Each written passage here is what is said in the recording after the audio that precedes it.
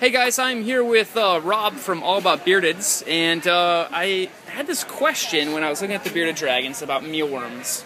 And uh, a few people have asked me this question too, is do you feed mealworms to bearded dragons? So this is actually a really great question. It's a very common question, and what I have here is I'm going to actually show you the difference between a mealworm and a zophobas or superworm. The mealworm is a much smaller, this is actually an adult mealworm, it's a much smaller animal. Um, these are both beetle larvae. The problem with the mealworms is, number one, they're very readily consumed by baby bearded dragons. So they like to eat them, and it's a common association that because the animal likes to eat it, it's good for it. But the mealworms are just basically pure chitin, which is hard exoskeleton. And the bearded dragons have a very, very short intestinal tract. So what happens is, as the bearded dragons consume more and more mealworms in a short feeding, it can be one feeding, the intestinal tract will actually get bound up. And at a certain stage, it will stop pulsating, and the dragon will actually become food bound and basically get chronically constipated and can pass away.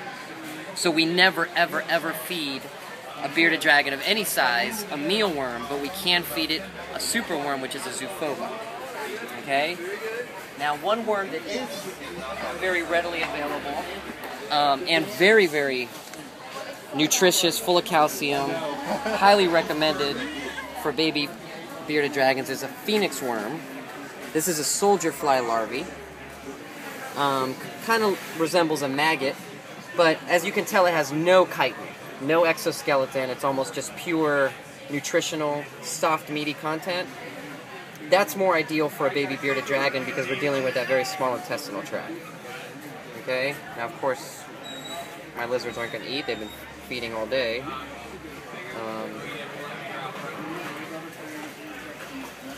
I've also noticed that throughout the day, you don't have any bearded dragons in your bins. Why is that? oops, sorry. No. Well, we did really good. I actually brought um, most of these lizards here are holdbacks from last year, except this clutch. And what I do is I hold back about 30% of my animals, usually the, the prettiest, highest end, and then I choose from those animals to breed from, and then I bring the ones I'm not going to breed from to my first show to kind of give people an opportunity to buy a lizard that isn't a hatchling and it's been raised a little more. Plus, it gives me a chance to kind of see what the dragons are morphing into.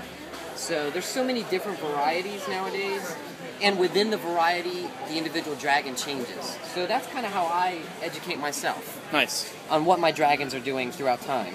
So like you can see, this is a four-week-old hatchling. In here we have about a four-month-old bearded dragon. I know it's Be all your considered almost a sub-adult, and then these are already at adult breeder adults, stage. Right. I noticed all of your uh, reds and oranges and uh, are pretty much gone.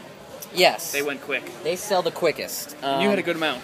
I also do not. I display the animals on sand at reptile shows um, because it's literally easier to scoop them out like a cat box. But I don't keep any of my animals on sand. They're all kept either on paper or in these plain plastic tubs.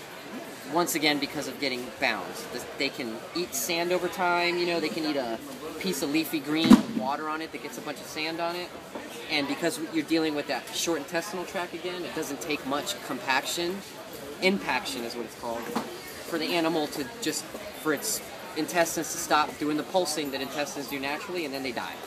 Nice. so we want to keep them off sand. Um, these are all things we've learned over the last 10 years um, you know through trial and error.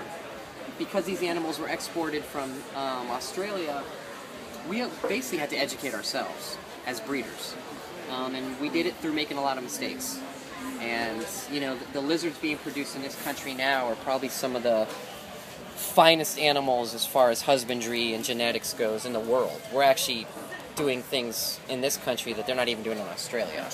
Right. So Awesome. Well, thank you very much. you're very welcome. Definitely. Thanks, Justin. Yes. Check them out. It's always good to stay informed. Stay away from the mealworm.